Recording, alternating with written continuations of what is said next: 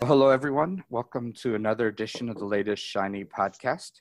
Uh, with me today is uh, Rob Hirschfeld, who is um, uh, with us on this podcast all the time. Uh, good day, Rob. How are you? Oh, well, it looks like Rob has. Um, I'm here. There you I'm here. Okay. Well, it's good to hear from you, Rob. And um, today we start a series of new podcasts with some guests that, um, you know, some people I've met in my past career who um, will offer us a rather unique per, uh, perspective. And I'm very excited to have uh, Dr. Will Venters, who is at the London School of Economics. And, uh, you know, uh, Will, thank you for joining us today. Oh, you're very welcome. Uh, it's great to be here. Great. Can you just give us a real quick overview of uh, your role at the school? And uh, so, so our listeners get a feel for um, what you work on.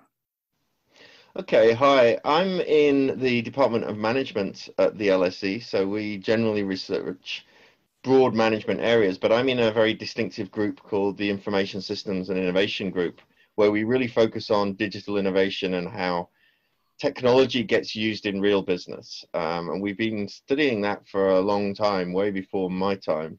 Um, and it's quite distinctive in that we bring social science and management science, but also technology together to try to study real problems. Um, and my particular interest is very much in digital innovation. So I'm a I'm a computer scientist originally by training. My that's my degree, and then I worked in industry and realized that actually getting systems to work often involved understanding people, and that led me into a, a, a PhD, and then ultimately into my faculty position here. Um, and I teach a master's course in digital innovation along with some undergraduates. Um, and we're really looking at um, how do you build systems that really work? And for the last, I guess, five to eight years, I've been looking at broadly the, the, the change to large scale systems that extend beyond a kind of traditional organizational boundary. And that's, I think, how we got to know each other because I've researched a lot in cloud computing, Sure. where we look at technology moving outside the organization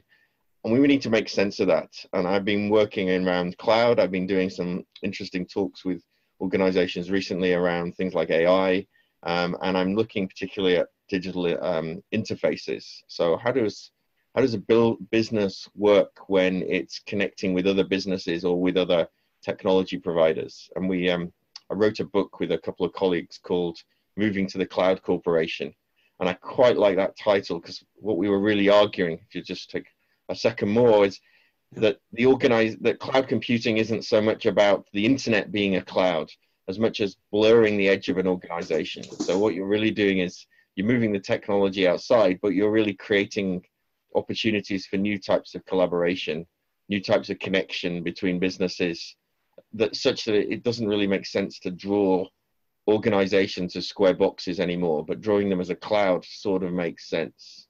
Um, I guess a classic example of that is Netflix. It, you know, if you ask a, a management student what is Netflix, they're kind of struggling beyond it's a brand because it's it's AWS, you know, it's Internet Movie Database, it's a content delivery network, it's your Samsung Smart TV, it's the internet provider who provides it, and it's a load of glue that brings that lot together in a very clever way. Um, so it's it's kind of interesting questions about organizations and cloud that I'm really interested in.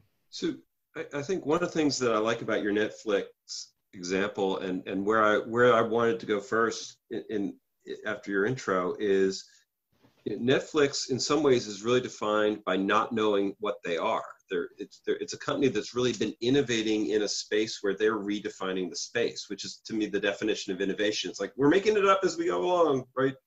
And they're they're actually changing the very industries that, that they would have you would have tried to bucket them into. Um, and and as somebody who focuses on teaching innovation, which is uh, you know it's a hard thing to do. it, it feels to me like we've we're changing the pace of innovation that, that the technology here is is actually redefining what innovation means is is that a you, is that a fair assessment of how things are going I, I think so. I think there's a there's kind of two sides to it. I think you're right. You you're hitting on the fact that innovation is cumulative. You know, you can't invent one thing without the other. We couldn't have invented the internal combustion engine if we hadn't invented cogs and we hadn't worked out how fire works and we hadn't worked out how to drill holes in bits of metal and bash bits of metal. So innovation has always been generative, built on top of uh, uh, past technologies.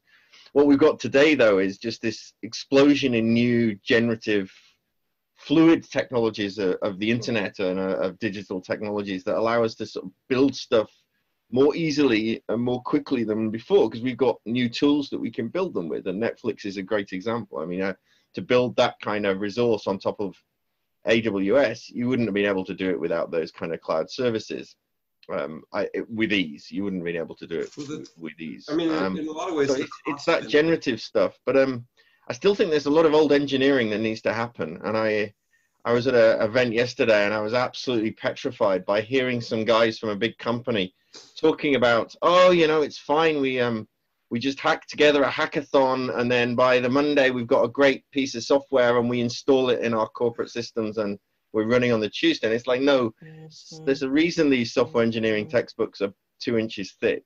There is some clever stuff that we need to do properly. And agile for me was never about doing it super quick. It was about doing it effectively, efficiently, with low risk, but also quickly in a kind of bounded way, um, which would be really interesting to discuss. But I think you're right. We, My goodness, I have, I have, a, I have, a, I have a parking lot for us to talk about towards the end.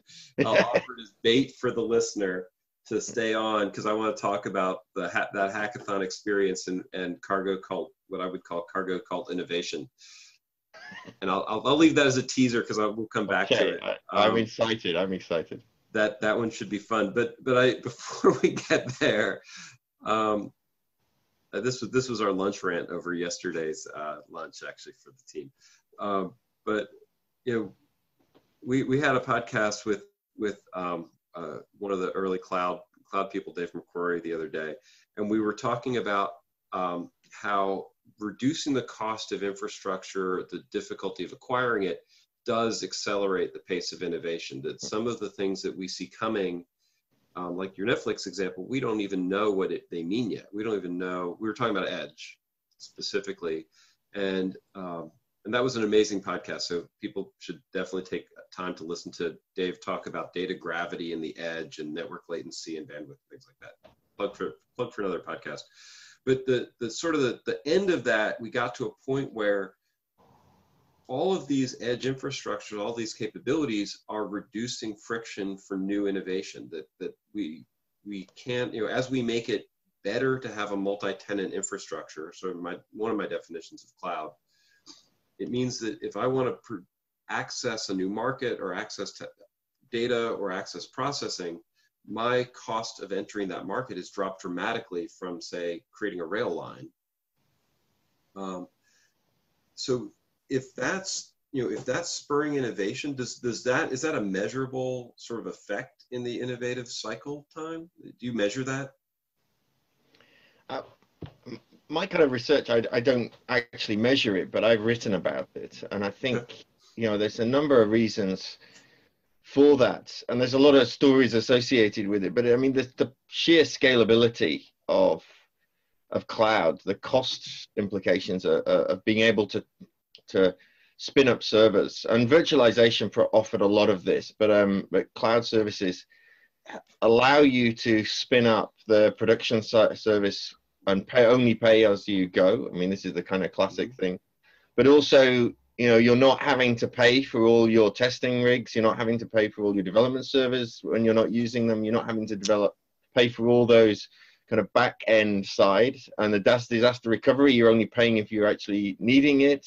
The, the costs then come down. And there's particular reasons as well that virtualization uh, offers virtualization offered this opportunity to, to run multiple servers on one machine. But if you so-called statistically multiplex that i.e Amazon obviously needs an awful lot of servers in on Black Friday, but it doesn't need them for January when everyone's skint after Christmas and hasn't got much money to spend. So it could hand those servers over to a I don't know a travel agent where maybe people book their holidays in January, and by sharing them out, it's like a power station which runs you know different types of demand through the day and allows to share the cost out between them. So there's very good economic models of why that kind of multiplexing, which can only happen on a multi-tenanted cloud, um, can reduce the cost for each user. Um, and they're pretty well understood.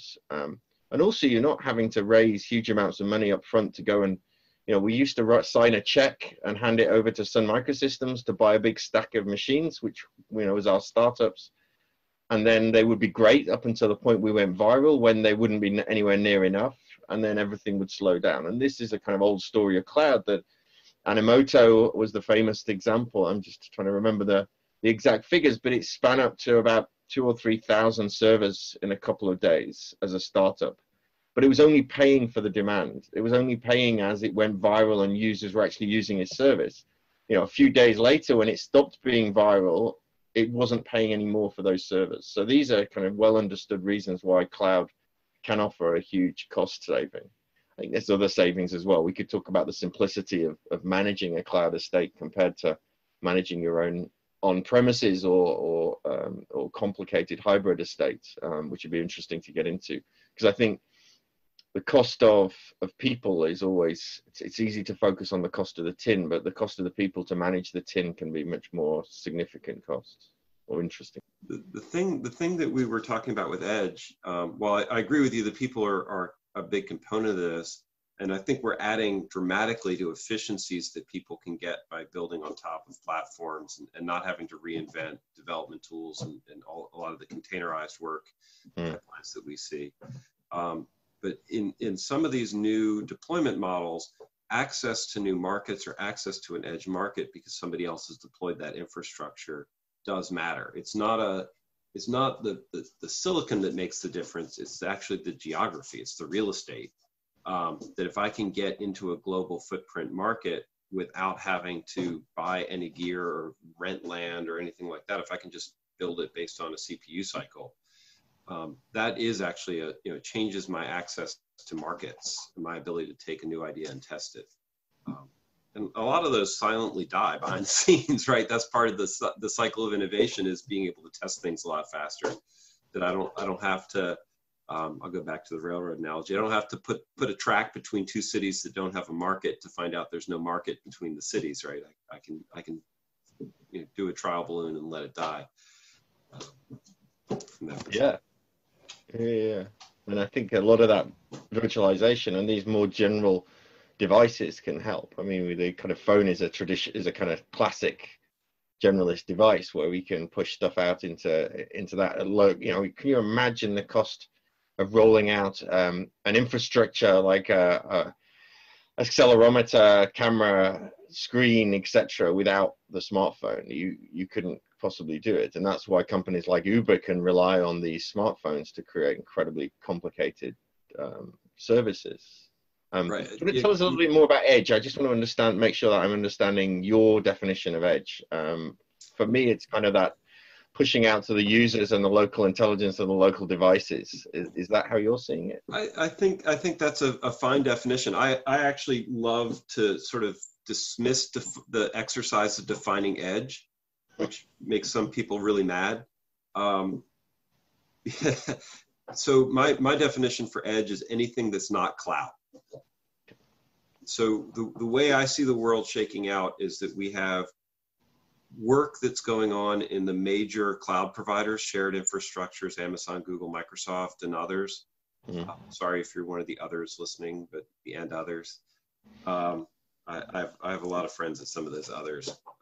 But the, the reality is those the top three are defining how work is done to a large extent. Um, and that definition sort of shapes how we build applications, how we test applications. It, it, it's it's transformative of how work is how we're thinking about building information technology and, and all of our life around that. Mm. And then what I what I see what, what I like to define edge, and I loved your you're saying cell phone as an edge device because it is anything that do, isn't done inside the cloud doesn't have the advantage of all the services and capabilities that people use in the cloud. And it forces anybody building outside of the cloud to accommodate that infrastructural challenge, right? And so that to me is the, the real question here is that we have a whole bunch of places that we're trying to work. And then the cloud is um, you know, it, and basically as soon as you venture outside of that happy boundary of cloud, you've, you've now crossed into something I would call edge. Uh, and that includes IT data centers. it includes, uh, you know, fields. It includes cell towers, um, the traditional edges. It would include an airplane flying in the sky, um, which is a, a, flying data center, or an mm. autonomous car, which is a you know a data center on wheels now. Um, you know, forward military bases, all sorts of all sorts of interesting places. Um, and one of the th- one of the themes for us is that we see those today those those infrastructures are basically islands of capability. They're they're not general purpose use. They're they're very tightly focused on you know running an airplane or driving a car.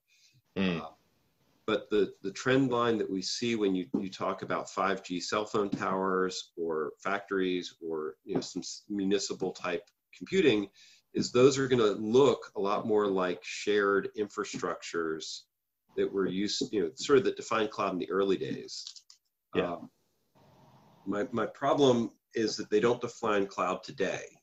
Uh, Amazon has hundreds. Amazon has hundreds of services uh, lined up um, that aren't available if you're out on the edge, um, and then we have to accommodate that that lack of service. Um, so that that has me rethinking uh, sort of the whole infrastructure. I'm interested to hear how yeah. how you see that that definition. I think it's really it is interesting, and uh, the island analogies. It's something I just read by been writing about a, a little bit. It's it's spot on because in a sense it's the lack of connection to the data that I think is the significant thing here. I don't think it's the cloud; it's the it's the data. And if you look at things like self-driving cars, the the the the, the issue of a self-driving car is, um, in fact, it was a paper I wrote talked about equivalence. That actually, if you could do the processing equivalently in the cloud to doing it locally, you would do it in the cloud for very good reasons. You can't because of latency problems and communication problems. So obviously, you have to do a portion of the processing in the car. What you really want to be able to do is send the data into a pooled resource. You want your car to be able to share its driving characteristics to the other cars so we can all learn and we can get better cars. And for that, that's going to be the cloud. So the two, to put any kind of barriers between them is, is to miss the point. And one of the things that I think is really going to be significant is things like you're talking about 5G um, communication, high-speed communication with low latency that can can deal with those type of, of, of applications, the huge data transfer requirements for supporting a self-driving car local data center with a massive cloud-based data center.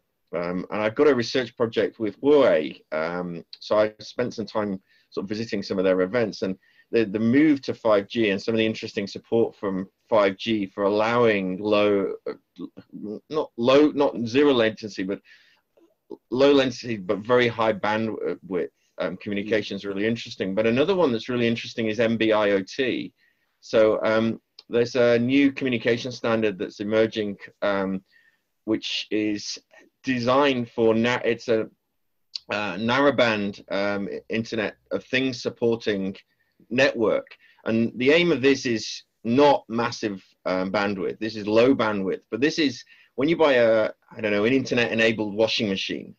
At the moment, you have to connect it to your Wi-Fi network, and most people just can't do that. They they just it's beyond their capability with a dial and a silly button to try to do it. I mean, you know, I've just got a Nest, and Nest is lovely user interface, but setting it on my sort of 25 digit Wi-Fi password was a pain in the neck.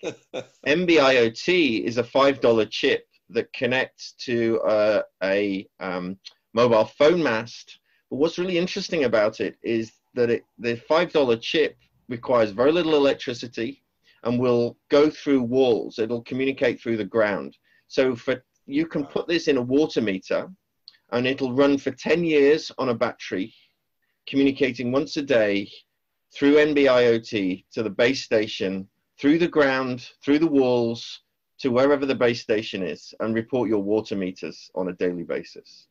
Now, you think about the edge cases where you could, where you start to think, well, it's not just gas meters, it's not just water meters, it's all those silly devices you buy on an IoT basis that at the moment we're trying to connect to our Wi-Fi and we're worried because they have crappy passwords and crappy security.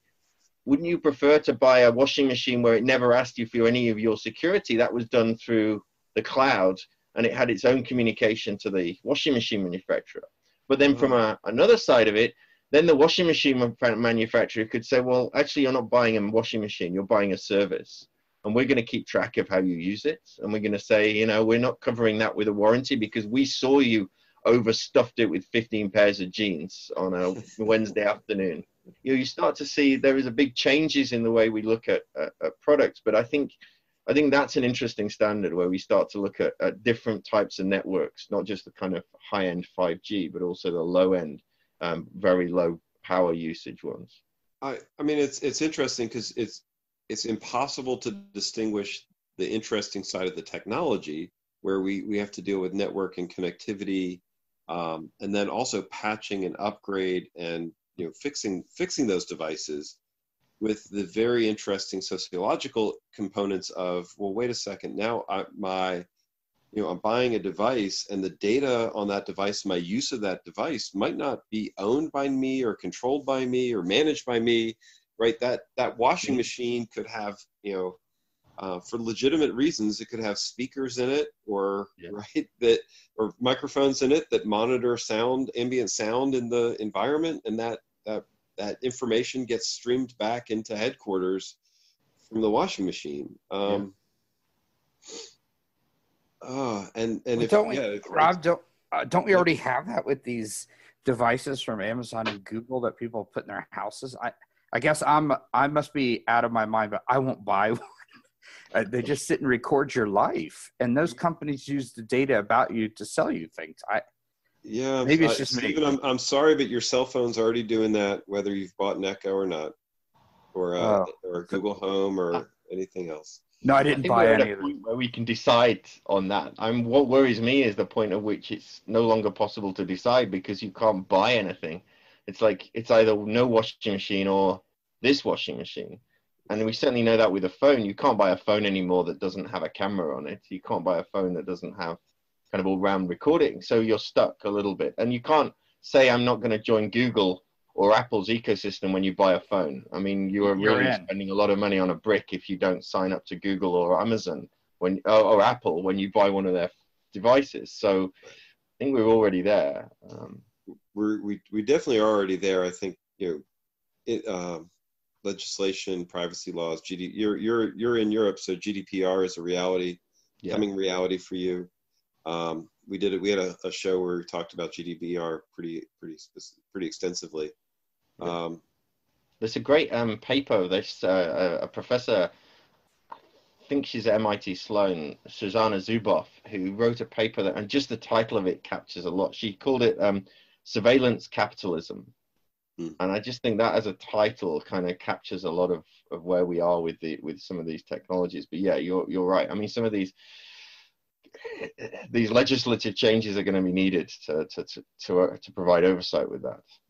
And, but at the same time, coming back to innovation, mm-hmm. the idea that I can combine multiple sources of data, a free flowing amount of, of data between these edge use cases translates into high degrees of usability, right? It might be that, you know, we're, uh, we're stuck on the washing machine example because we brought it up, but Sorry. the information provided by my washing machine correlated with my reading habits, correlated with, right, uh, who knows, information about my coworkers might translate into some actionable insight that I want, you know, my refrigerator to know. I don't, I don't know.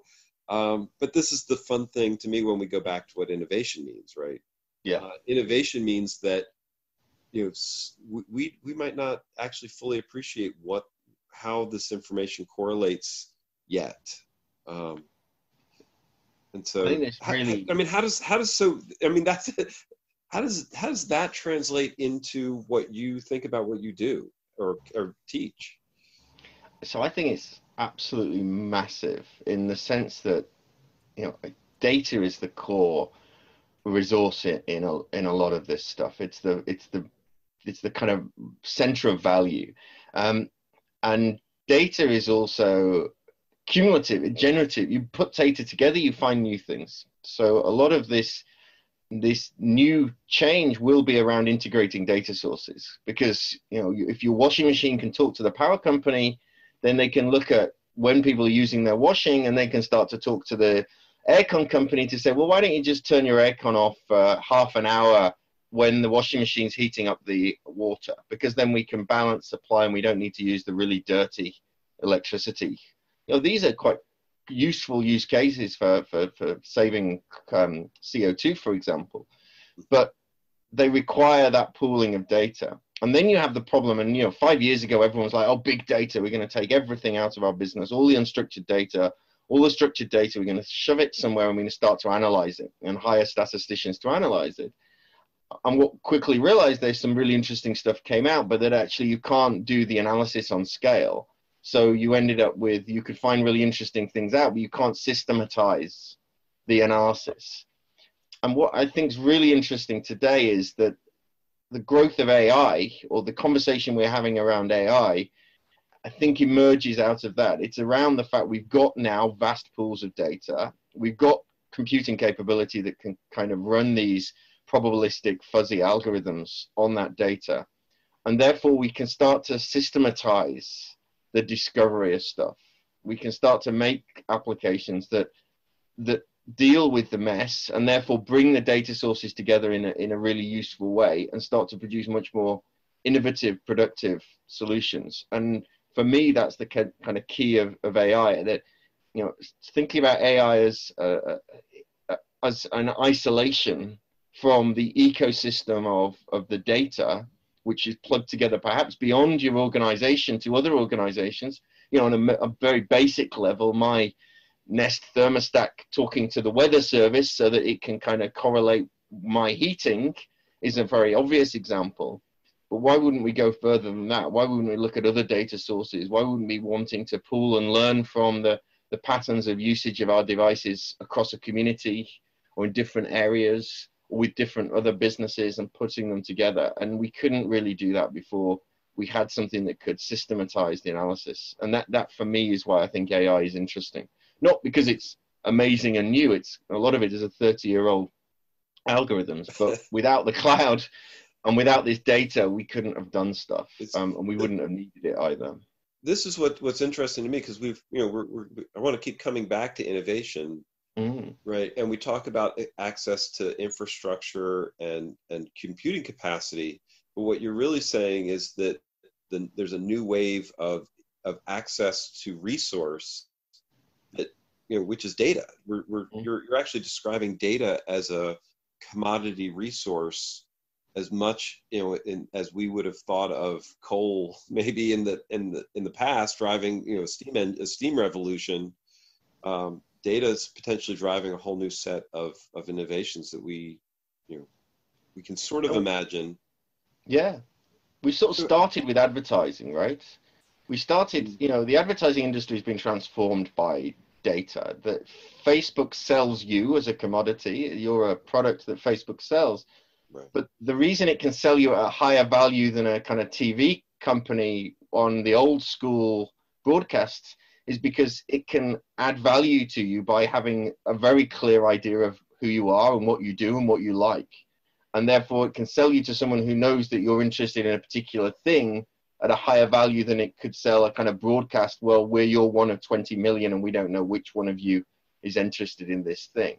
So, data created new value, absolutely created new value in the Facebook or Google ecosystems for advertising.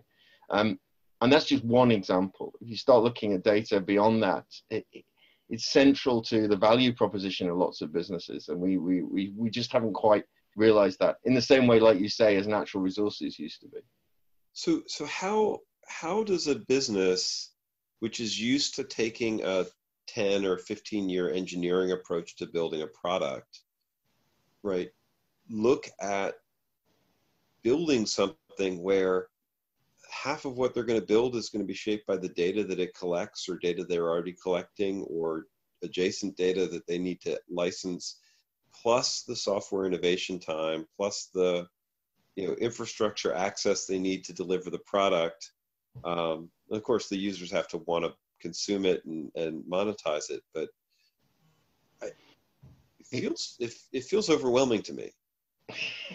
I think you're you're right. I was interesting. We had um, Eric Ries at the LSE last week or the week before last, and I was chatting to him, um, and he's just got a new book out for people who uh, for people Sorry? who haven't read his book. Lean Startup is this sort of cornerstone, but he's been doing stuff since. Sorry, go ahead. Yeah, his new book is the Startup Way, and it actually looks at that because what happened after, you know, he moved away from startups and started because lots of big corporates called him in. So he be he's been looking at how do you apply the startup idea inside old school engineering companies. And I think he worked a lot with GE, which is kind of traditional old school engineering. And it was just exactly what you were talking about. It's how do you take advantage of new ways of innovating? And particularly, what I really like about Eric's work is that it's focused on learning, it's focused on getting data, trying something out in the small scale, and then learning about it and shifting. I mean, the whole idea of pivot was essentially to learn to have a kind of cycle of learning. Um, and building in for large organizations or traditional organizations that sense of, of learning and, and experimentation. And then using new technology, you know, whether it's 3D printing to prototype some new thing before and then just talking to people about it or exploring it, um, or whether it's implying in putting sensors into the old school system you can start to learn from it. So um, yesterday I was at an event talking with a guy from Pirelli tires, and he was talking. You know, you you have a the, the the machines that make tires. They're pretty old school. They're kind of they have a 15 year lifespan. It's like a big met, metal press that presses out and heats up a big piece of rubber. And he was saying that you have to go around and you have to fit new sensors to these old machines and then you look from the data from the sensors and you start to see what can we change and what can't we change? What can we learn and how can we how can we apply that? So i think a lot of these old school technologies it is going to be adding technology to them.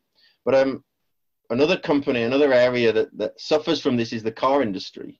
So you know you look at a, a, a kind of top end car what is a i won't name any car companies but what is a top end european car? It's essentially it's a internal combustion engine, thousands and thousands of highly tuned parts. It's a big metal cage, and it's a five-year out-of-date entertainment system that everyone goes, well, yeah, it's kind of okay, but it's not as good as my phone.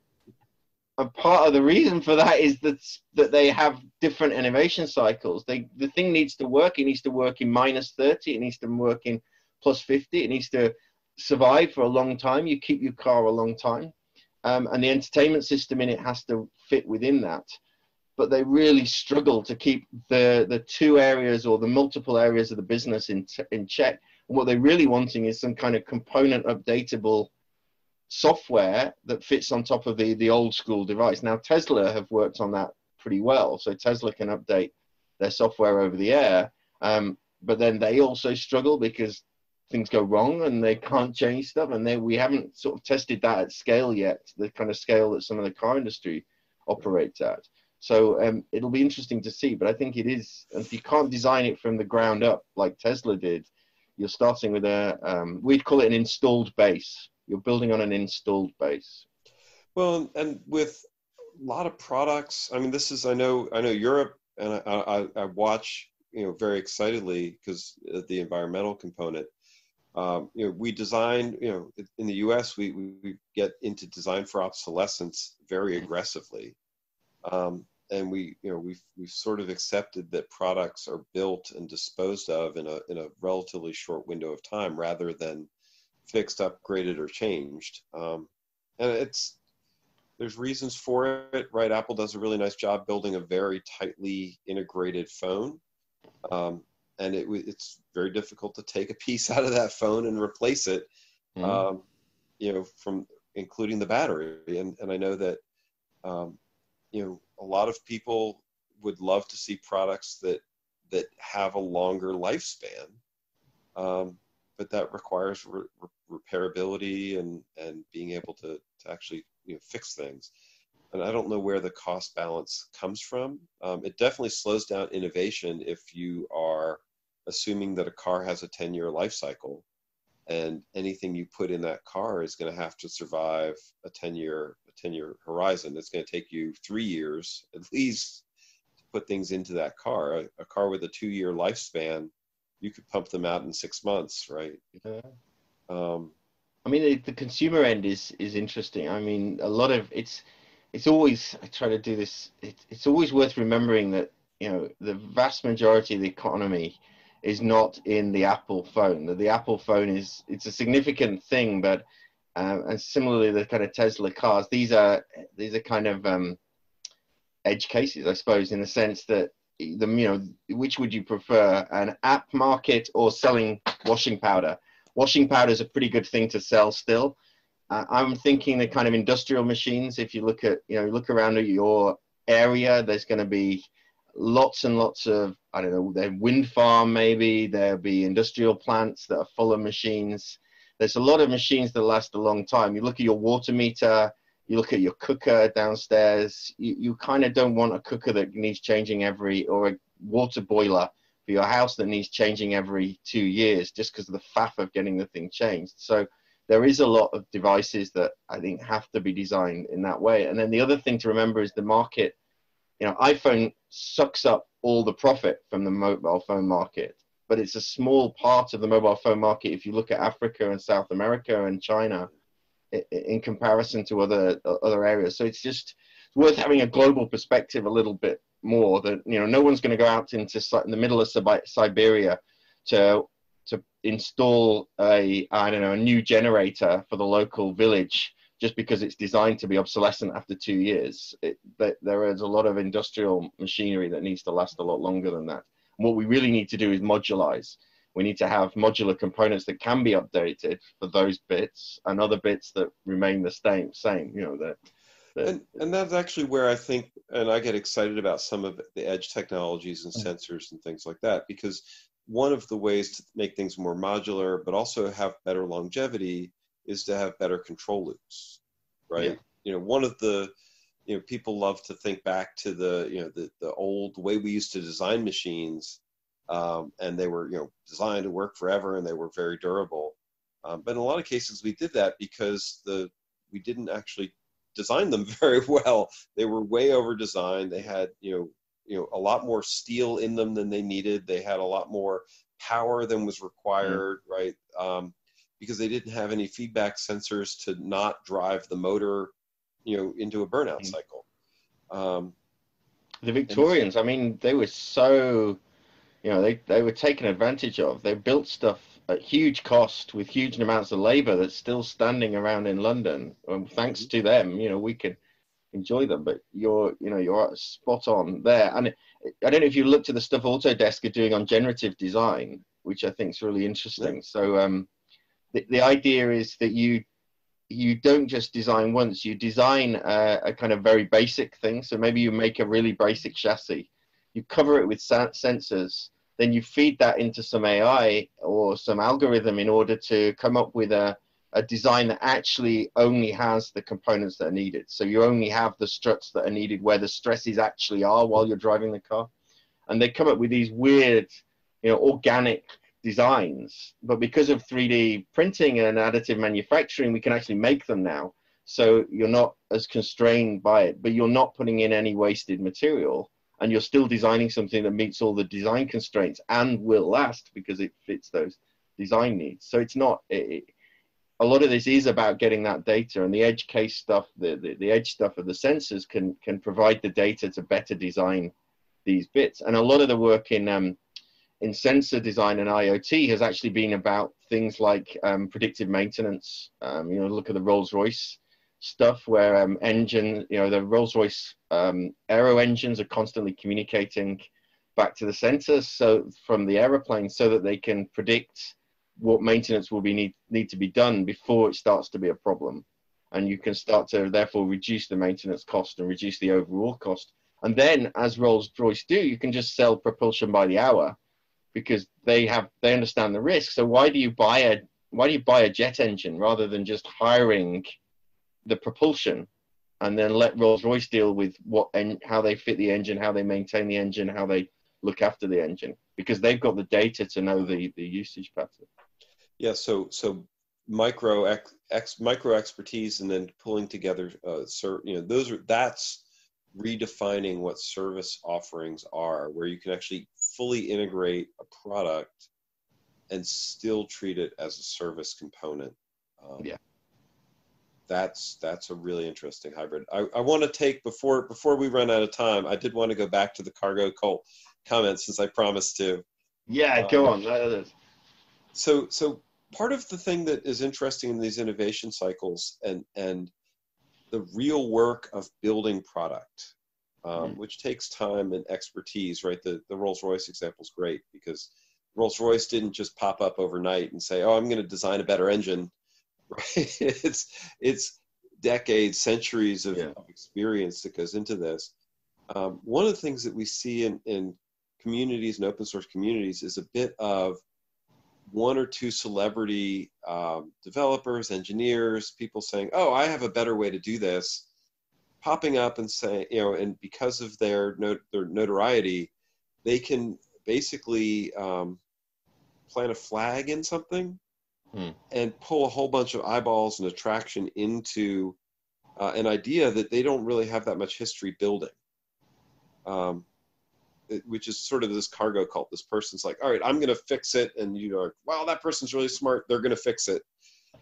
Um, sometimes that works out really well, but sometimes it, it, it translates into a huge stampeding rush um, of people into, you know, over into one thing. Um, and then they, they all sort of show up and they're like, wow, that was a lot harder than I thought. That's, that's the phrase that, um, you know, well, that was, that was, that was a hard problem we, we, we didn't solve it in a weekend of, of frenetic coding. Um, mm. Do you, is that something you track in, you know, do you watch that? Is that something you sort of have a longer, longer perspective in? I, no, other than I, I'll say what I do in my, so in my lectures, I, I, I, I talk about things like, um, I don't know if you remember ACID transactions when you did uh-huh. database management. You know, back in the day, you know, you have to learn around the, uh, idempotent and distributed. I think. Uh, yeah, it's atomicity, consistency, isolation, and durability to make sure ah, essentially yeah. that a transaction runs. Don't worry, I'm looking them up on Google. Um, you you have to make sure that a transaction fully runs, completely runs, doesn't half run, doesn't take the money from your bank account and lose it in the middle of the transaction. And this is the kind of old school database design stuff. Right. And I teach that not because my students necessarily need to know it, because until you hear about it, you think you never think about those issues. It's really easy to think about, oh, I'll design a write to a database or to a file, or I'll do some transactional thing without actually thinking about the side effects and about all those specific issues. And I try just to say, look, it isn't, you know, it, writing good software isn't just about having exposed brickwork and a foosball machine, a foosball table. It's about actually consistently understanding the limitations of what you can do. And I think, you know, writing simple apps because of the frameworks that are available you know, producing simple web page web sites very very easy really easy scripting really easy stuff to do and all the complicated stuff is handled at the back end by the frameworks what worries me is when people then think because they can do that they can write things that have the complexity of the framework and are dealing with real life problems you know i wouldn't want to climb into an aeroplane or have my healthcare data looked after by something that was written by someone who didn't understand those hardcore software engineering issues, which goes back to my the reason software engineering books are two inches thick is because this stuff is is difficult. Nobody's saying we need to go back to the life cycle. Nobody's saying we need to go back to doing all of the stuff, but there is still a big role for program verification, for hardcore testing approaches, for kind of understanding those approaches, and then also remembering that agile came out of a bunch of guys who wanted to produce quality software. You know go back and read the agile manifesto. It wasn't about hacking and, and quick and dirty. It was about getting away from quick and dirty and getting into robust software engineering that wasn't taking the lifecycle slower specification led approach but also wasn't just hacking. It was about kind of quality understanding. And extreme programming is a great example of that. You know, extreme programming focused on test first, pair programming. You know, these were ideas that were brought together because they increased the quality and refactoring as well. That that kept simple code that was really quality code. And it, it does worry me that we see and we see huge examples of it. that kind of devices that are being sold that you plug into your house, a Wi-Fi system, and then expose your data to who knows what, because someone didn't understand and think about the security implications. And it, we've all seen all these security issues popping up, and I think they're kind of thin end of a, a, a very big wedge of, of poor quality code with poor quality software engineering and computer science skills. Um, writ large. Now, it's not just the, the, often those individuals are really good. I mean, I'm not criticizing those kind of star individuals. It's not the, it's not the individual. It's not right. But it's well, it, it, can be a big problem. I think it's because we abstract we abstract so much away. Yeah, everything's abstracted, and I mean, I know in the good old days when I did computer science, we did uh, machine language, and we had to learn how to actually convert it and everything. And now, if you go to computer science school, I don't even think they bother and and you don't understand the basics. But well, I have to be the. Well, I'll let you finish, Rob. But I have to be the bad guy. You know how I am. I know. I know. We're out of time. Um, and and I think this it's a whole other topic. I I I think I don't think we have to force people to program in punch cards in assembly um, no. to, to to teach good engineering practices. Um, I, I do think it's very easy to uh, show an 80% solution right? And think that you've you've you've solved you've solved yeah. the harder parts of those problems right? I think the thing we forget and this is where the cargo cult comes back to me it's right where you can you can sort of say wow i've solved this this problem with this new platform and we've you know it's this new huge thing and and they've solved the sort of the you know the low hanging fruit has come out of it. Yeah. Um, but the what you're describing you know these these you know, the, the 20%, which is really the 80% work of dealing with security and the deployment and the implementation and, you know, quality and, and but you know, those things are, are, are really very difficult to rush. And can um, I just add, I know you're out of time, but I just, that the social science skills of understanding what market you're really attacking and making sure you don't mess up on things like, you know, uh, Google did that drop mic April 1st joke. Do you remember that on the Gmail? And basically, if you, you gave a second button on Gmail that said send with a YouTube video of someone dropping a mic, not realizing that lots of people were using Gmail for their commercial email and sort of damaging customer relationships. Like if a company with the resources of Google can fail to understand its products properly because of the social science side, I think that that's a big side of it as well. Just businesses understanding that there's a glo- whole globe out there with different agendas and different cultures um, and imposing that in design. We're definitely taking some of the brakes off of things. Yeah. Awesome. Uh, well this well, has been fascinating. Um, love going deep and broad so it's been really good. And, and I, I really enjoyed it and um, yeah. I think this is great. Uh, so, Will, just if people are interested in, uh, you know, following up, learning more about what you're working on and stuff, I know you have a website, Will Venters, W I L L V E N T E R S dot com. Um, any other places they should go? I guess you have Twitter. I'm sure you have to have Twitter, right? Not the law. Yeah, I'm a, I'm a, I'm Cloudy Grids. It was a terrible what? title back in the day. I was looking at grid and cloud computing. So I'm at Cloudy Grids on Twitter. I'm on LinkedIn, and um, I have a blog, binaryblurring.com, which is where I put sort of various interesting things. Uh, so that's a, a, a, place to find me. But otherwise, just search for Venters at the LSE, and you should find quite a bit. And and thank you again for joining us and to our listeners. Um, I hope you found this really interesting we're working to find different viewpoints and certainly i think today's discussion was not our typical discussion rob. I, I really enjoyed it and and maybe in a couple months maybe five six months uh, we'll, we'll come back and, and, talk again. And by that time the world will have changed so much in technology because i don't know how anyone keeps track every three months something new comes. Uh, you know we'll be talking about ai machines programming ai or something. But uh, thank you very much for uh, joining us today. Thank you very much. I very much enjoyed it and i'll speak to you in a few months then Okay.